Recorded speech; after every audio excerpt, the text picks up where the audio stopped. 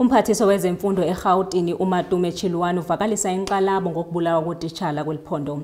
Okuzemva kokuba umfundisintsapho wesikolo samabanga aphakamileyo iRiverside eVanderbilt Park kunye nentloko yesebe lezorhwebo kwisikolo samabanga aphakamileyo iUnity edaveton bedukile babulawa ngolwesihlanu kwiveki ephelileyo kwiziganeko ezohlukeneyo.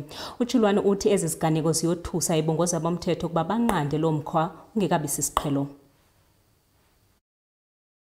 The Gauteng Education MEC Matome Chiloane is deeply concerned by the senseless killings of educators in the province following the deaths of a life orientation educator from Riverside High School in Vanderbijlpark and that of a departmental head of commerce from Unity Secondary School in Daveyton, which both incidences occurred on Friday, the 5th of April 2024.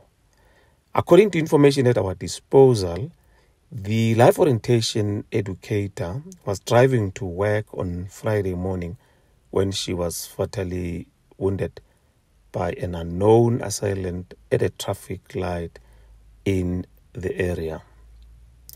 On Friday evening, sadly, the departmental head of commerce from Unity Secondary School was also fatally shot while inside his car in Daveyton. Police are investigating both cases just to understand on circumstances surrounding them.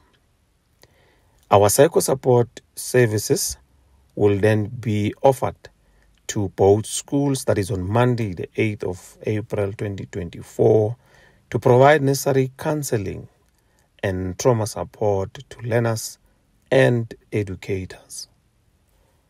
The MEC has indicated that is actually deeply concerned at the onslaught of our educators following both incidences.